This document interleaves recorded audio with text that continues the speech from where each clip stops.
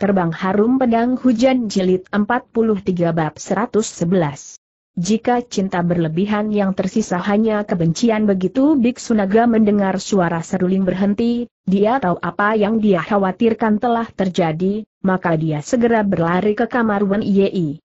Di depan kamar dia bertemu dengan Ruan Wei yang wajahnya berseri-seri. Ruan Wei berteriak, ketua, ketua. Aku ingat siapa dia dan sudah ingat semua masa laluku Biksu Naga hanya mengangguk dan dengan berat berkata, cepat tengok dulu adik angkatmu begitu masuk kamar, di tempat tidur Wan Yei hanya ada sebuah seruling. Wan Yei tidak berada di atas ranjang, dia tergeletak di bawah. Wan Wei terkejut, Wan Yei digendong dan terus memanggil. Adik Yei. Adik Yei tapi Wan Yei tidak menjawab. Wajahnya pucat dan giginya menggigit bibir, sepertinya dia sudah meninggal. Ruan Wei meneteskan air mata dan meletakkan Wan Yei di atas ranjang. Biksu Naga memeriksa nadi Wan Yei kemudian menggelengkan kepala, penyakitnya sudah parah, tidak bisa ditolong dengan tenaga manusia karena cemas. Ruan Wei mencengkram seruling bambu, matanya melotot sebesar lonceng, benar-benar menakutkan. Seruling bambu dicengkram sampai cekung ke dalam.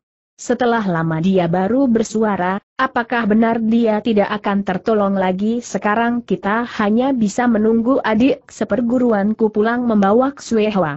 Hanya Ksuehwa yang baru bisa menolong nyawanya apakah tetua harimau pasti membawa Ksuehwa pulang Biksunaga menarik nafas, Ksuehwa yang tumbuh di padang es, sangat sulit didapatkan. Aku sudah menghabiskan waktu beberapa tahun mencarinya tapi belum pernah mendapatkannya. Apakah Wan Ye akan hidup, itu tergantung takdir harapannya sangat kecil. Ruan Wei berpikir, di dalam kecemasannya, dia menggunakan tenaga dalam, pelan-pelan dia mengelus-elus perut Wan Ye tapi sudah lewat setengah jam, Wan Ye tetap diam seperti semula. Dia malah terus meneteskan keringat. Percuma. Percuma. Jangan membuat tubuhmu lelah kata Biksu Naga.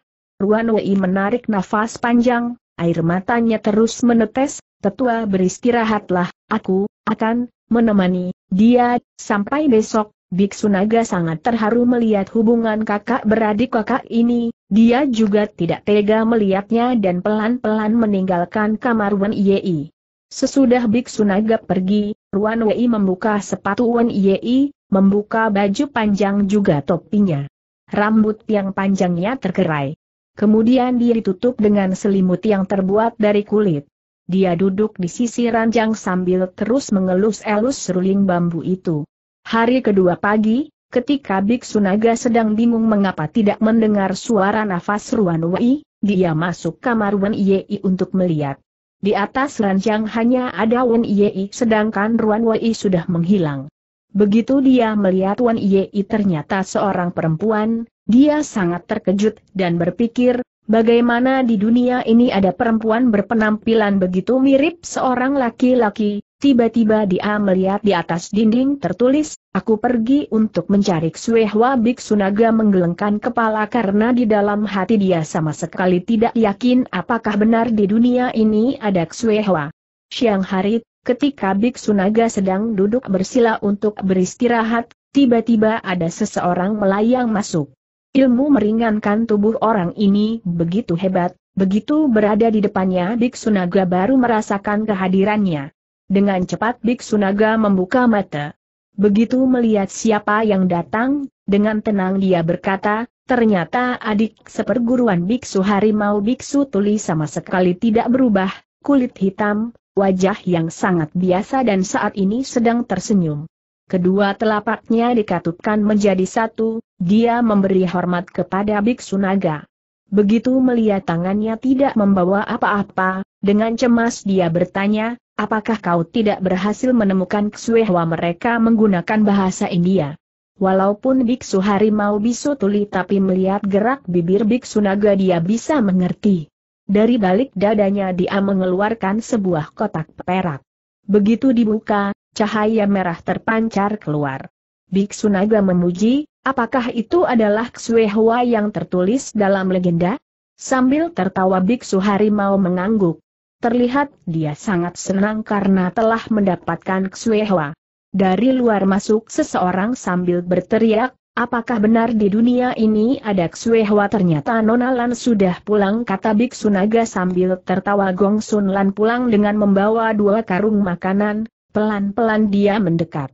Biksu Naga memperkenalkan, ini adalah adik seperguruanku, Biksu Harimau karena Baitima berlari sangat kencang, Perjalanan yang seharusnya ditempuh dua hari bisa dilakukan dalam waktu satu hari. Begitu melihat biksu harimau membawa Ksuehwa, segera dia meletakkan karung makanan, pelan-pelan dia mendekati biksu harimau dan memberi hormat. Aku memberi hormat kepada biksu harimau. Biksu harimau menggoyang-goyangkan tangannya supaya Gong Sun Lan tidak perlu memberi hormat. Dengan pandangan aneh dia melihat biksu naga, seperti sedang bertanya, Siapakah dia Biksu Naga segera menjawab, dia adalah kekasih Ruan Wei, namanya Nona Gong, Gong Sun Lan tidak mengerti bahasa India yang diucapkan Biksu Naga. Tapi Biksu Harimau mengerti dari gerakan bibir kakak seperguruannya. Wajahnya sedikit berubah dan berpikir, jika dia adalah kekasih Ruan Wei, bagaimana dengan yang Sabtunya lagi dia memberi tanda isyarat, di manakah Wan Yei Biksu Naga segera membawanya ke kamar Wan Yei. Gong Sun Lan ikut masuk. Begitu tahu Wan Yi adalah seorang perempuan, dia lebih terkejut dibandingkan Biksu Naga. Hanya Biksu Harimau yang sudah tahu kalau Wan Yei adalah seorang perempuan. Dari balik dada Biksu Harimau mengeluarkan sebotol arak. Dia menuangkan arak ke dalam sebuah mangkuk kemudian Hua dihancurkan dan direndam ke dalam arak. Begitu Hua direndam, Hua segera hancur dan menyatu dengan arak. Hua membuat arak putih itu berubah menjadi merah seperti darah. Semangkuk Hua disuap ke mulut Wan Yei. Benar-benar dahsyat, wajah Wan Yei yang tadinya pucat sekarang berangsur memerah, tadinya nafas Wan Yei terengah-engah, sekarang menjadi tenang. Tidak lama kemudian dia membuka mata dan memanggil-manggil, Dage melihat wajahnya yang cantik, Gong Sun Lan baru mengerti mengapa Ruan Wei yang hilang ingatan tetap tidak bisa melupakan dia, mungkin mereka sudah bertunangan dan sulit terpisahkan. Setelah Wan Yei sadar dan tidak melihat Ruan Wei, dia malah melihat musuh cintanya ada di depan, mata Wan Yei segera penuh dengan air mata. Dengan memelas dia melihat biksu harimau, dia ingin mengucapkan terima kasih, tapi sebelum Wan Yei bersuara, Biksu Harimau sudah menggoyangkan tangannya melarang Wan Yei bersuara dan dia memberi tanda agar Wan Yei beristirahat dulu dan juga berpesan agar kakak seperguruannya dan Gong Sun Lan keluar dari kamar. Dia juga ikut keluar. Sesampainya di tengah ruangan tamu, Gong Sun Lan bertanya pelan-pelan, Tetua Naga, di mana Ruan Wei tiba-tiba ingatan Ruan Wei pulih, Begitu melihat adik angkatnya sakit berat dan pingsan, semalaman dia tidak tidur. Pagi-pagi tadi dia sudah pergi, katanya dia ingin mencari Ksuehwa Biksu Harimau tidak mengerti gerakan bibir Biksu Naga yang bicara bahasa Han. Dia bertanya dengan bahasa isyarat, setelah mengerti dia memberi isyarat kemudian dia berlari keluar dan menghilang. Gong Sun Lan dengan cemas bertanya, mau ke mana dia menurut adik seperguruanku, Secara kebetulan dia menemukan sebuah pohon Ksuehwa, itu pun dengan perjuangan yang sulit. Sekarang Ruan Wei pergi mencari Ksuehwa, mungkin dalam waktu beberapa tahun dia tidak akan mendapatkannya. Dia pergi mencari Ruan Wei dan menyuruhnya kembali, aku ikut, kata Gong Sun Lan. Sambil bicara, dia ingin keluar dari kuil. Jika kau pergi, begitu adik seperguruan membawa Ruan Wei kembali, bukankah kami harus keluar lagi untuk mencarimu? Lebih baik kau tinggal di sini, menunggu mereka kembali, kata Biksu Naga. Gong Sun Lan berpikir, benar juga kata-kata Biksu Naga. Maka dia kembali ke dalam kuil. Apa yang terjadi padamu tanya Biksu Naga. Gong Sun Lan menggelengkan kepala, aku tidak memikirkan apa-apa, mengenai cinta pemuda dan pemudi sering tidak dimengerti dan jika sudah terjerat di dalam cinta akan sulit keluar. Sebenarnya kehidupan ini adalah jodoh Gong Sun Lan pelan-pelan berkata sendiri, biarkan dia pergi. Biarkan dia pergi. Itu tidak mungkin, aku harus memperjuangkannya setelah makan siang, Gong Sun Lan memasak sepoci susu dicampur teh dan memilih sepiring makanan enak untuk dibawa ke kamar Wen Yei. Wen Yei sudah sembuh. Keadaannya sekarang sudah sehat seperti orang biasa. Dia merapih topi dan sedang bersandar di ranjang untuk beristirahat. Melihat Gong Sun Lan masuk, dia marah, untuk apa kau kemari kau harus makan, kalau tidak berarti kau belum sembuh, Gong Sun Lan tertawa. Siapa yang mau makan makananmu? Bawalah keluar bentak Wan Yei. Aku tidak berbuat salah kepadamu, kenapa kau harus marah-marah kepadaku tanya Gong Sun Lan. Diam-diam Wan Yei berpikir, benar juga, dia tidak berbuat salah kepadaku, kenapa aku harus marah padanya maka dia dengan nada tidak suka berkata, baiklah, taruh saja makanannya, setelah itu silakan keluar mengapa di dunia ini ada gadis yang tidak tahu aturan begini Gong Sun Lan tertawa. Wan Yei segera membalikan tubuh, kedua alisnya dikerutkan. Apa yang kau katakan tadi aku berkata mana ada gadis, siapa yang gadis? Sembarangan bicara protes Wan Yei. Memang kau sangat mirip laki-laki tapi sayang rambut panjangmu sudah terlihat. Apakah orang lain tidak bisa melihat kalau kau adalah seorang perempuan yang berdandan menjadi laki-laki, laki-laki bukan perempuan juga bukan, benar-benar jelek Wan Ye marah besar, bukan urusanmu. Kau tidak perlu mengurusi apakah aku laki-laki atau perempuan memang sifat Gong Sun Lan sangat sabar, tapi sekarang dia mulai marah. Dengan tertawa dingin dia berkata, untuk apa kau lakukan itu? Untuk menipu laki-laki, Benar-benar tidak tahu malu Gong Sun Lan mengira Ruan Wei memanggil adik Yei pasti awalnya karena dia tidak tahu kalau Wan Yei adalah perempuan. Wan Yei baru sembuh jadi dia cepat marah, dia juga menjawab, aku sudah menipu siapa? Ruan Wei teriak Gong Sun Lan. Wan Yei segera duduk, tangannya sudah siap menyerang tapi Gong Sun Lan menghindar. Wan Yei masih tidak puas, dia turun dari ranjang menyerang lagi dengan telapak. Gong Sun Lan menghindar ke kiri juga ke kanan, ketiga kalinya Wan Yei menyerang, Gong Sun Lan menahannya. Karena Wan Yei masih lemah, sekarang serangannya ditahan oleh Gong Sun Lan, maka Wan Yei terjatuh ke bawah. Di luar kamar ada yang tertawa, dua gadis ini sedang meributkan apa mendengar suara ini, Gong Sun Lan dengan terkejut melihat. Ternyata bayangan orang yang pendek juga gemuk berdiri di depan kamar kemudian dia masuk seperti panah. Wan Yei tidak sempat melawan, dia ditotok oleh Liu Guan dan dijepit di ketiaknya. Gong Sun Lan berteriak, Liu Guan, tinggalkan dia yang datang adalah salah satu dari lima orang aneh di dunia persilatan, Ksih Walong Jun Liu Guan. Liu Guan tertawa terbahak-bahak, demi dirimu aku menculik musuh cintamu, seharusnya kau berterima kasih kepadaku. Aku tidak mempunyai musuh cinta. Tinggalkan dia teriak Gong Sun Lan. Kau tidak perlu berbohong, dari tadi di luar aku sudah mendengar dengan jelas. Perempuan yang berpura-pura menjadi laki-laki ini ingin merebut suamimu, hanya aku yang bisa membantumu Yei bisa mendengar juga bicara, hanya tubuhnya yang tidak bisa bergerak. Dia bertanya, siapa suaminya melihat wajah cantik Wan Yei, sifat gatal Liu Guan tidak bisa ditahan, siapa pun suaminya, jika ingin suami, kau tidak perlu berebut dengan dia. Walaupun aku sedikit dewasa, tapi aku lebih kuat daripada bocah itu, lebih baik ikut aku saja begitu mendengar kata suami, hati Wan Yei terasa panas.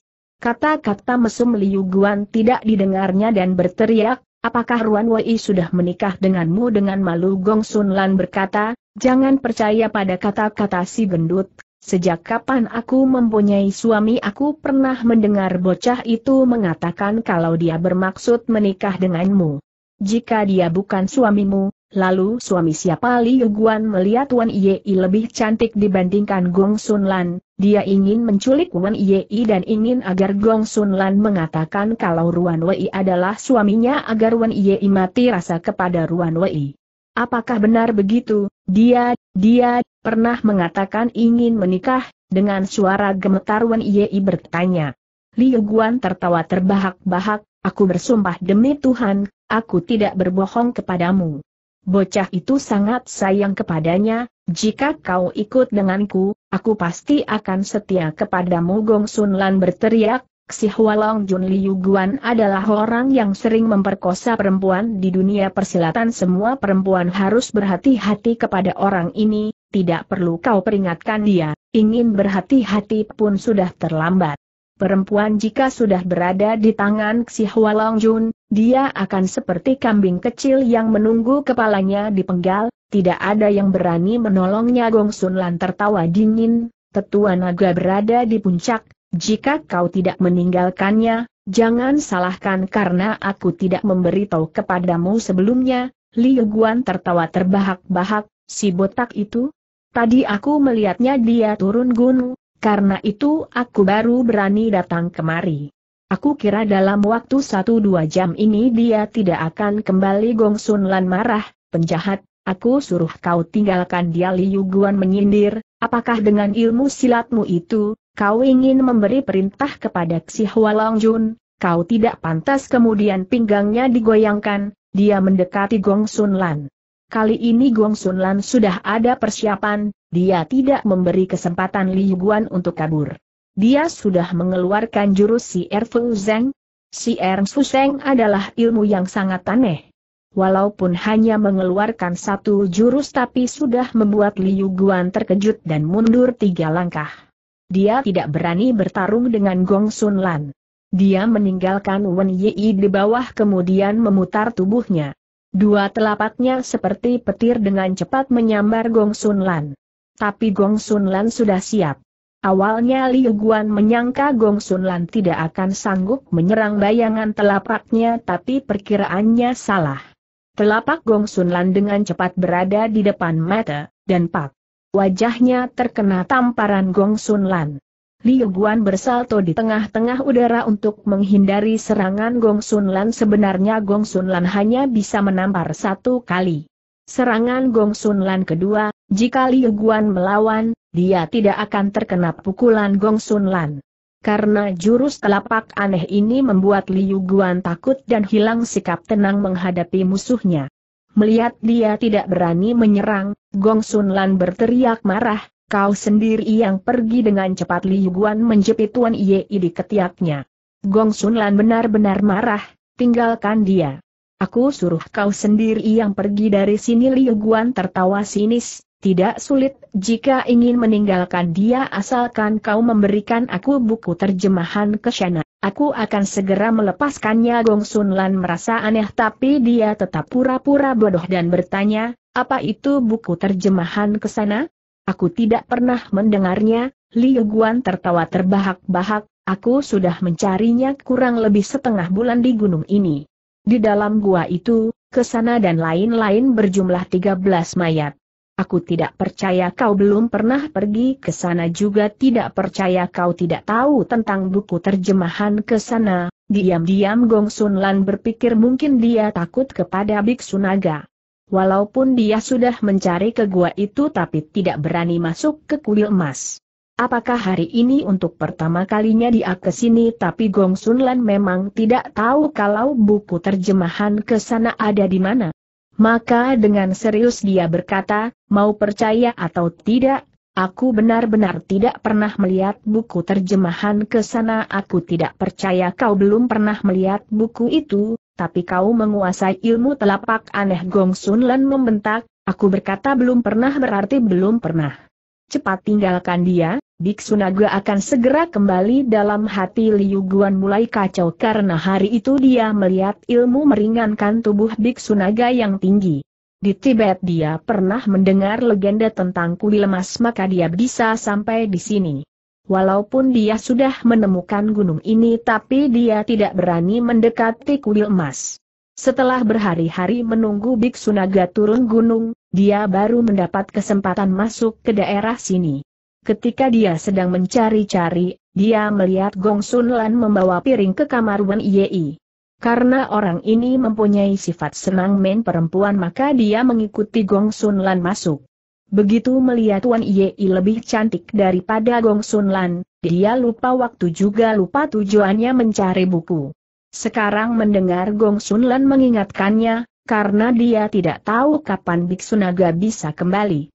Dengan tegang dia menjepit Tuan Yei lagi dan berteriak, jika ilmu yang tadi kau gunakan, beritahu aku jurus apa itu, aku akan segera melepaskan dia Wen Yei terus dijepit sehingga membuatnya merintih karena sakit. Hati Gong Sun Lan lemah melihat keadaan ini, dengan penuh perasaan dia berkata, lepaskan dia, jangan membuatnya kesakitan apakah kau setuju menuliskan rumus ilmu telapak itu untuk kutanya Liu Guan. Jangan tulis jurus itu untuk penjahat ini. Aku tidak terima kebaikanmu ini Liu Guan marah, kau bilang apa kemudian tangan yang menjepit Wan Yei bertambah kencang menjepitnya. Wan Yei kesakitan, keringatnya terus menetes tapi Wan Yei diam untuk bertahan. Gong Sun Lan memang bermaksud menolong Wan Yei, tapi dia tidak berani memberitahu rumus-rumus si Erfu Zhang kepada Liu Guan. Sekarang melihat Wan Yei tidak mau menerima kebaikannya, maka dia diam tidak bersuara. Dari sudut mata Liu Guan melihat Gong Sun Lan. Melihatnya diam tidak bergerak, tiba-tiba dia mempunyai rencana jahat. Dengan tertawa licik dia meletakkan Wan Yei di bawah. Gong Sun Lan tidak tahu apa yang akan dia lakukan, dia hanya bisa menghadang di depan pintu agar dia tidak bisa membawa Wen Yei keluar. Liu Guan marah, gadis bau. Jika kau berani menolongnya, aku akan menendang kepalanya sampai hancur sebenarnya Gong Sun Lan berjalan ke depan untuk menolong Wen Yei. Setelah mendengar kata-kata Liu Guan, Gong Sun Lan pikir-pikir lagi. Liu Guan tertawa terbahak-bahak kemudian tangan kirinya menyobek baju panjang Wan Yei, tangan kanannya membuka baju lapisan kedua Wan Yei yang terbuat dari sutra. Dengan suara gemetar Wan Yei bertanya, kau, kau, mau apa? Liu Guan sekali lagi tertawa terbahak-bahak, sejak tadi kau selalu mengatakan kalau kau adalah laki-laki, Biarkan aku melihat apakah kau laki-laki asli atau laki-laki palsu tangan kiri membuka baju lapisan kedua, terlihatlah pakaian dalam perempuan. Kulit yang putih dan lembut terlihat di depan mata. Karena dingin Wen Yei menggigil, penjahat, bunuhlah, bunuhlah aku, Liu Guan tertawa cabul, mana mungkin aku membunuh nona cantik yang begitu menggoda kemudian tangan kanannya menekan ke dada Wan Yei. Wan Yei seperti digigit ular, dia berteriak memilukan. Wajahnya pucat seperti orang yang akan mati. Keadaannya sekarang lebih menyedihkan dibandingkan saat dia akan dibunuh. Liu Guan tertawa senang. Tangan kirinya bersiap-siap membuka baju dalam Wan Yei. Dia ingin menelanjangi Wan Yei setelah itu baru diperkosa. Dalam keadaan yang begitu berbahaya, tiba-tiba Gong Sun Lan berteriak, berhenti. Aku akan menuliskan rumus ilmu telapak untuk Muli Guan segera berhenti, kau jangan berpura-pura apakah aku adalah orang seperti itu. Pakaian kembali bajunya terlebih dulu sahut Gong Sun Lan. Karena Liu Guan lebih tertarik dengan ilmu telapak, dia melepaskan Wen Yi yang cantik dan menuruti perintah Gong Sun Lan. Baju Wen Yi ditutup kembali. Wen Yi memejamkan mata, air matanya terus menetes mana kertas dan kuasnya tidak perlu khawatir, aku sudah menyiapkannya mungkin sejak tadi Li Guan sudah menyiapkan semuanya. Dia ingin memiliki ilmu-ilmu rahasia yang terdapat di kuil ini dituliskan semua untuknya. Kertas dan kuas sudah ada di tangan, Gong Sun Lan berpikir sebentar. Dia segera menuliskannya ke atas kertas yang diberikan Liu Guan. Seperempat jam kemudian, rumus belum selesai ditulis. Liu Guan mulai cemas, gadis bau. Apakah kau ingin mempermainkanku dengan mengulur waktu? Jika Biksu Naga datang, yang pertama kulakukan adalah menendang kepalanya dulu dia menunjuk Wan Yei, apakah kau masih berani mengulur waktu si Erfu Zhang berjumlah 36 jurus, apakah aku akan menuliskannya dengan sembarangan? Kalau begitu cepat tuliskan semuanya. Liu Guan tidak berani membentak lagi. Setelah seperempat jam berlalu, Gong Sun Lan meletakkan kuas di atas meja dan berkata, sudah selesai Liu Guan segera berteriak, lemparkan kertas itu padaku kau buka totok nadinya dulu baru aku akan memberikannya kepadamu sahut Gong Sun Lan. tapi Liu Guan adalah orang yang serakah, seperti ada pepatah Tiongkok yang mengatakan, ikan dan telapak beruang, dua-duanya diinginkan, daging pada bagian telapak beruang adalah makanan yang paling enak dan paling mahal di Tiongkok kuno. Dia mulai menarik baju Wan Yei dan ingin membukanya kembali. Sambil tertawa sinis dia berkata, cepat berikan kertas itu kepadaku. Jika tidak, aku akan membuatnya malu Gong Sun Lan dengan cemas berkata, Aku akan memberikan rumus si Erfu Zhang tapi kau harus cepat tinggalkan tempat ini dan tidak boleh menyulitkan dia Liu Guan tertawa terbahak-bahak, apakah kau tidak percaya pada nama baik Wuki, lima orang aneh.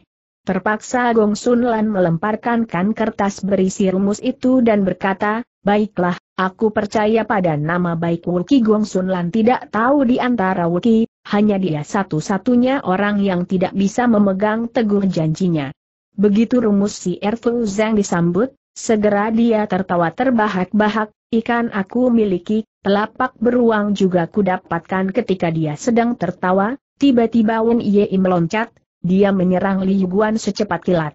Nadi yang Wen Yei totok adalah kedua tangan Liu Guan, maka buku yang ditulis Gong Sun Lan melayang keluar. Ternyata semenjak Wan Yei memakan Ksuehwa yang direndam dengan arak, aliran darahnya menjadi lancar.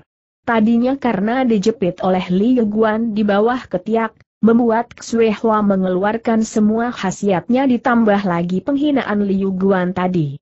Maka tenaga Ksuehwa keluar semua. Diam-diam dia mengatur nafas, akhirnya totokan nadinya bisa terbuka dengan sendirinya. Liu Guan sama sekali tidak menyangka kalau Wan Yei bisa membuka totok nadinya.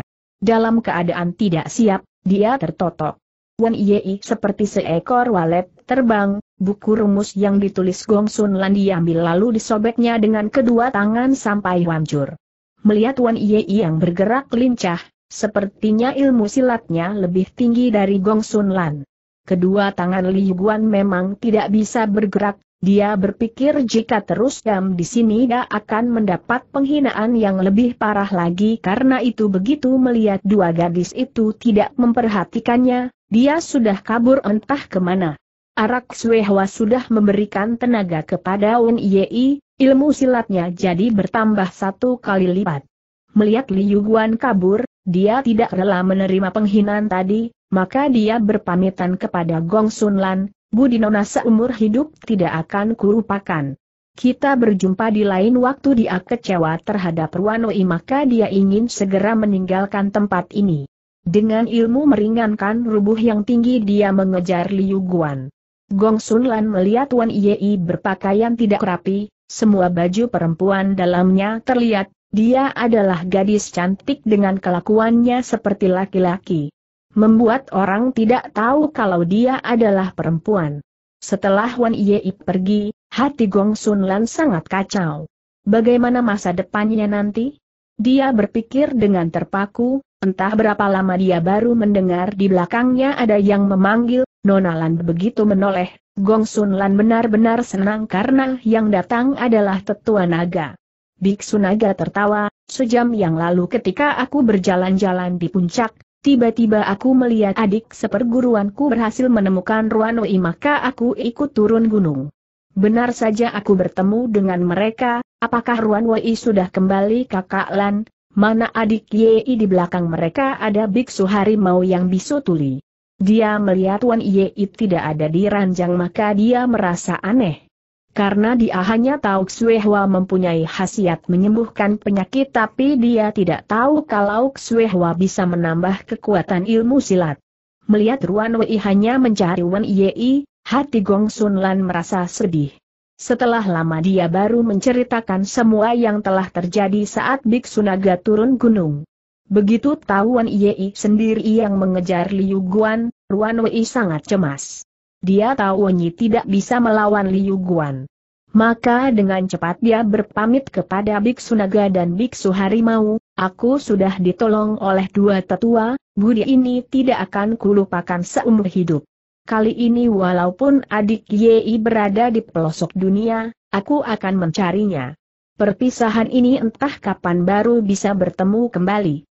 Aku pamit dulu Biksu Harimau menulis di udara dengan lambaian tangan, jika di Zong Yuan bertemu dengan Chuan Jian, beritahu kepadanya tanggal 1 bulan 12, kami akan bertarung di Junsan. Biksu Naga berpesan, ilmu silatmu adalah warisan dari adik seperguruanku, sekarang di Zong Yuan Ka sudah termasuk pesilat yang bisa dihitung dengan jari kehebatannya. Tapi kau harus ingat ajaran Buddha adalah selalu berbuat kebaikan kau harus menjaga diri dengan baik ketika kemarin Padiruan Wei turun gunung untuk mencari Xuehua, karena tidak tahu harus ke arah mana mencarinya maka di gunung es dia mencari ke seluruh penjuru. Kebetulan dia bertemu dengan Biksu Harimau dan Tawan Yei kalau sudah sembuh. Sekarang setelah kembali dia tetap tidak bisa bertemu dengan Wan Yei, hatinya benar-benar cemas. Begitu Biksu Naga selesai bicara, dia segera berkata, Kakak Lan, sampai berjumpa lagi dia keluar dari kuil. Gong Sun Lan ikut lari, dengan sedih dia bertanya, kapan kau akan ke Tibet lagi Ruan Wei bukan orang yang tidak ada perasaan, mengingat kesalahpahaman yang terjadi dulu karena sudah terbukti ayah dan anak ini tidak pernah mengincar Tian Long Jian, tapi dia juga tidak bisa meninggalkan Wan Yei seorang diri mengejar Liu Guan. Terpaksa Wan Wei berkata pelan-pelan, entah kapan aku baru bisa pergi ke Tibet lagi, tapi budi kakak Lan akan kuingat selamanya dengan penuh air mata. Gong Sun Lan berkata, aku tidak ingin kau ingat budiku tapi ingin kau ingat pada cintaku, kau, kau, jangan lupakan aku, aku akan, menunggumu, Ruan Wei sedikit ragu kemudian pelan-pelan berkata, hubungan baik kita akan menjadi masa lalu, aku menyesal mengapa dulu begitu bingung, kata-kata ini mengatakan bukan dia yang tidak ada perasaan melainkan mengapa dulu mereka telah salah paham? Sekarang hatinya sudah dihuni orang lain, mana mungkin menerima perasaannya.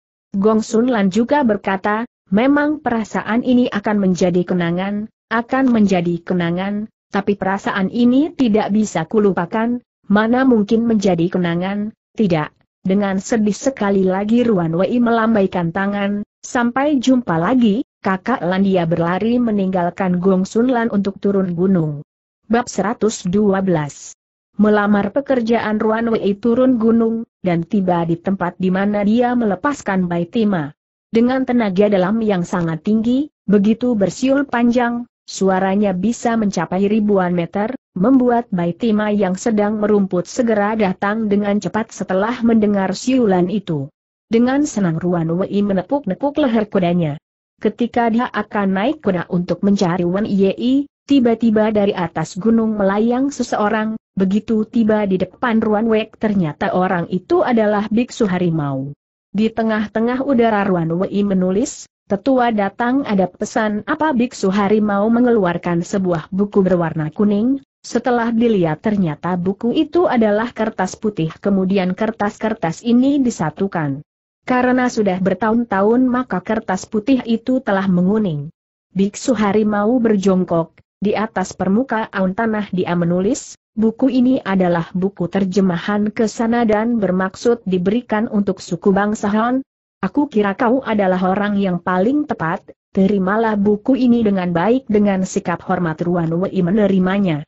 Dia tidak tahu buku ini adalah sebuah buku kuno dan dia tidak tahu kalau buku ini sangat berharga, dia menyimpan di baju bagian dada. Biksu Harimau menulis lagi, kau harus menyimpannya hati-hati. Jangan anggap remeh buku ini. Jika buku ini jatuh ke orang lahat, Dunia ini akan kacau, Ruan Wei menulis. Aku akan menyimpannya dengan baik. Biksu mau menulis lagi, menurut kakak seperguruanku, buku ini adalah buku kuno India dan buku pusaka India, sebenarnya tidak boleh diberikan kepada orang luar. Tapi aku tidak menganggapnya demikian, kau layak mendapatkan buku ini. Jika ada waktu berlatihlah dengan baik buku ini memiliki pengertian sangat dalam, kau harus memahaminya baik-baik. Jangan sia-siakan harapan kami Ruan Wei mengangguk, Biksu Harimau menepuk-nepuk pundaknya dan menyuruhnya pergi.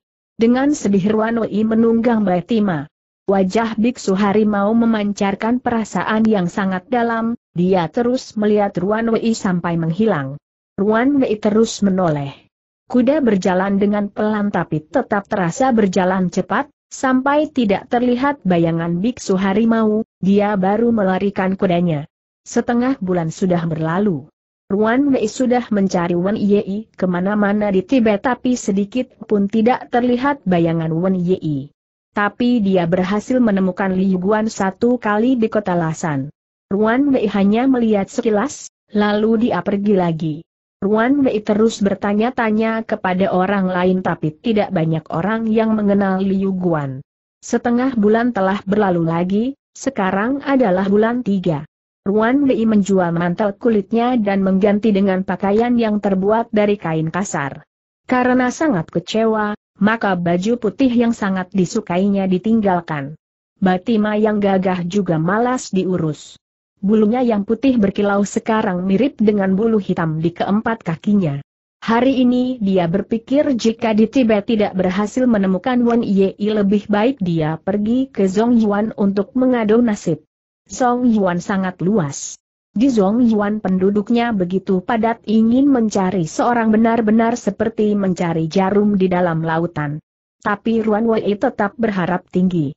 Walaupun tidak bisa bertemu dengan Wen Yei tapi di bulan 8 saat Tiong Kiu, hari makan kue bulan, Wen Yei pasti akan pergi ke kota Rui.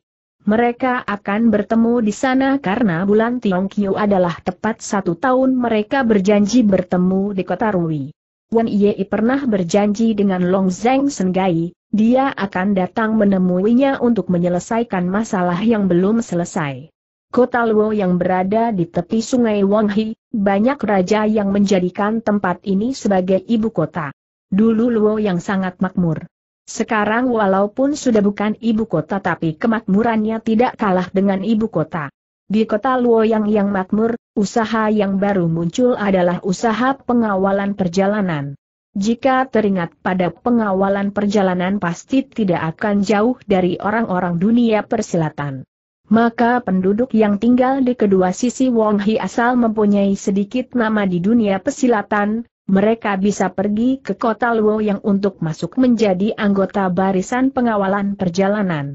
Pengawalan perjalanan di kota Luoyang, yang besar maupun yang kecil berjumlah 40 lebih, tapi yang paling terkenal adalah pengawalan perjalanan yang dipimpin oleh Wu Yingjian, pedang tanpa bayangan, Ouyang ZHI, Xuan.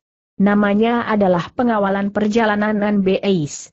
Nama pengawalan perjalanan Nan BAIS sangat terkenal, Barang-barang yang pernah diantar oleh perusahaan ini belum pernah hilang dan di dunia persilatan tidak ada yang berani mengganggu mereka. Orang-orang dunia persilatan yang terkenal selalu ingin bekerja di sana. Setiap tahun uang yang dihasilkan sangat banyak. Orang luar pun selalu menghormati mereka. Tapi jika ingin bekerja di sana juga bukan hal mudah karena dalam pemilihan pegawai, Ouyang ZHI, Ksuhan berlaku sangat ketat.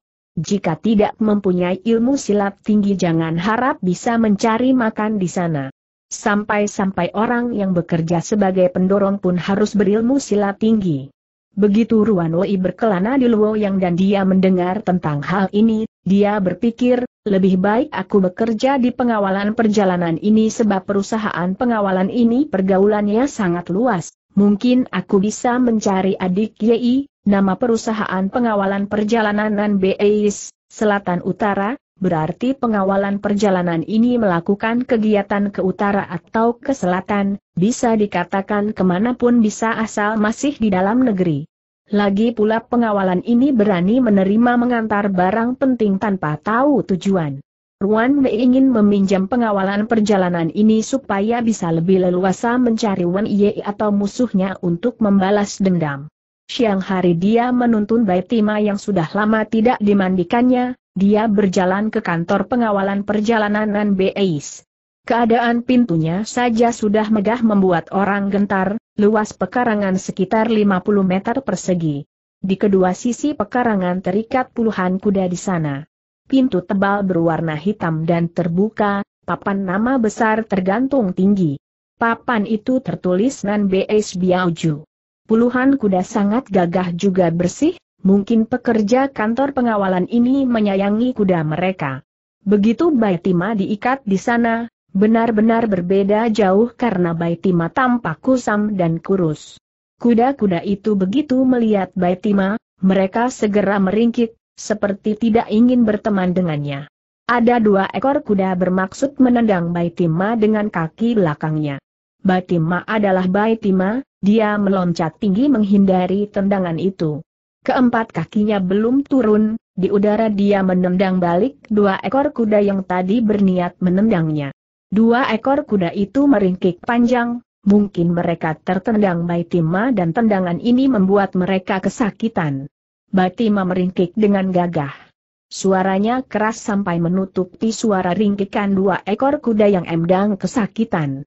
Karena ringkikan Baitima yang panjang membuat kuda-kuda lain ketakutan dan menundukkan kepala. Apalagi dua ekor kuda yang ditendang Baitima, mereka berdiri dengan tidak tenang. Dari dalam rumah keluar dua laki-laki tegak berteriak, siapa yang berniat mencuri kuda-kudaku tidak sengaja menendang dua ekor kuda yang ada di sisinya jawab Peruan Wei. Apakah kuda itu terluka tanya pelayan. Mungkin tidak jawab Peruan Wei sambil tertawa. Mereka tidak tenang dan segera memeriksa kondisi kuda, terlihat kuda yang menjadi milik Marga Zhang dan Marga Wang berdiri di pinggir. Yang berdiri di tengah-tengah adalah seekor kuda kurus dan kotor. Kuda itu berdiri dengan tegak di tengah-tengah. Melihat perut kuda yang ditendang menjadi biru keunguan, sepertinya tendangan itu sangat kuat. Melihat Ruanoi berpakaian biasa, mereka tetap dengan ramah menyapa, Anda datang ke sini ada keperluan apa aku ingin melamar pekerjaan, Salah seorang pelayan berkata, kebetulan, nanti kau bisa minta maaf kepada Chuan Wong dan Chuan Zeng siapa mereka aku akan membawamu masuk, mereka masuk ke dalam ruangan, tampak barang berjejeran, sampai di belakang baru terlihat ada rumah. Di tengah ruangan ada sebuah papan nama tertulis tempat berlatih silat. Dalam ruangan banyak orang berpakaian ketat untuk berlatih silat tapi ada yang berdiri, ada yang duduk ada juga yang sedang bercanda. Pelayan datang ke bagian belakang, berbicara dengan seorang pelayan tua kemudian pelayan tua itu masuk, tidak lama kemudian keluar seseorang dengan wajah penuh cambang. Pelayan tua itu berada di belakang orang bercambang itu. Dengan sikap hormat pelayan tegap itu berkata, Cuan besar ding, Cuan ini ingin melamar pekerjaan, semua orang yang berada di ruangan itu segera berhenti beraktivitas dan melihat Chuan Besar Ding.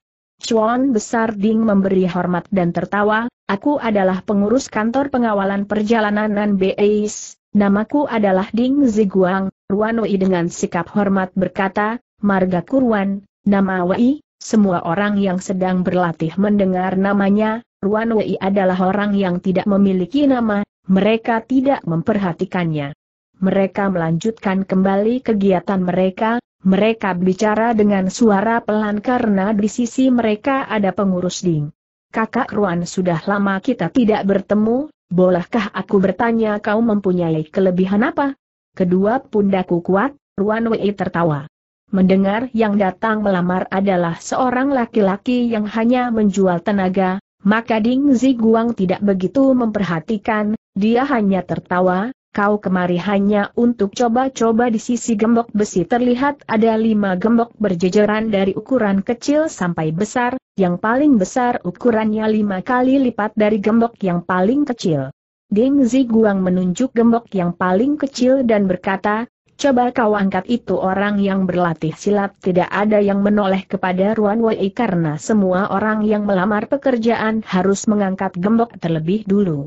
Walaupun tenaga orang itu besar, paling-paling mereka hanya menjadi seorang pegawai kecil di pengawalan perjalanan ini.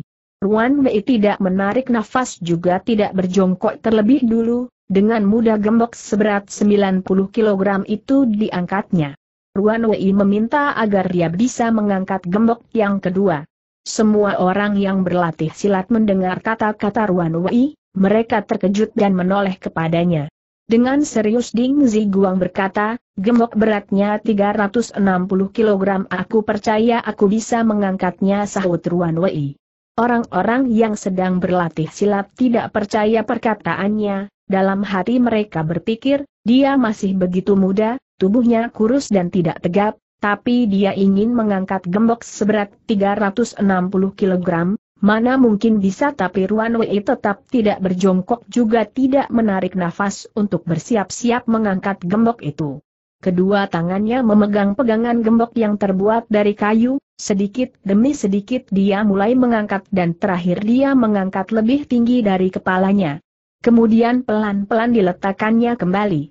Dengan serius Ding Ziguang bertanya lagi, apakah gembok ketiga itu sanggup kau angkat orang yang berlatih silat mulai melihat Ruan Wei? Mereka ingin tahu Ruan Wei akan menjawab apa. Karena gembok ketiga tersebut, orang yang bisa mengangkatnya di pengawalan perjalanan ini hanya ada beberapa orang.